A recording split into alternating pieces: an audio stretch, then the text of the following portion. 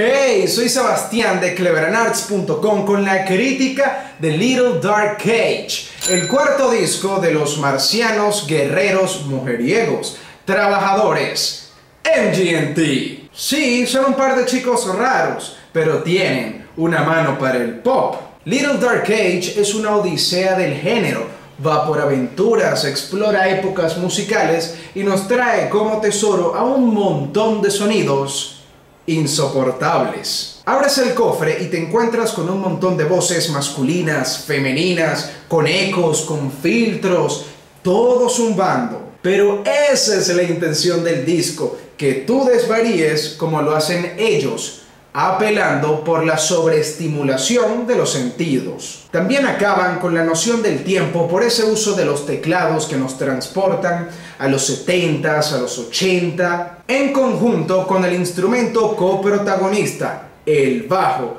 en su presentación eléctrico o sintetizado. Porque tú sabes que esta vaina es retro. Me and Michael pudo haber sido un himno del disco hace 40 años. Y sin ir muy lejos, Little Dark Cage también aborda el chill wave de comienzos de esta década al mejor estilo Neon Indian, Toro y Moi, con una brisa fresca de psicodelia. Y a pesar del primer plano de los tin tin, tum tum, mis instrumentos preferidos fueron los desapercibidos. Esos bellos punteos de eléctrica, las cuerdas acústicas, las bases rítmicas que fueron programadas con inteligencia en su justa medida. Y aunque el canto no es el plato fuerte de MGMT, los chicos entonan versos emocionantes y coros sin fallos. ¿Cómo los quieres? Con el carisma de los estadios, con la dulzura del pop de los 60, de estribillos,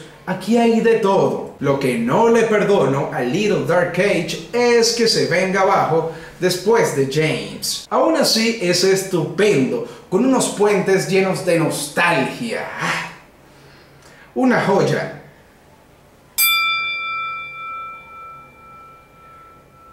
¿A ti qué? ¿Cuál fue tu canción favorita y cuál es el mejor disco de los marcianos, guerreros, mujeriegos, trabajadores?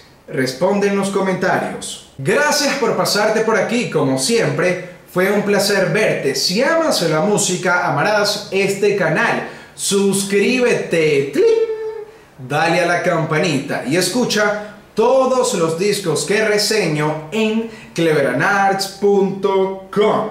Yo soy Sebastián. Hasta luego.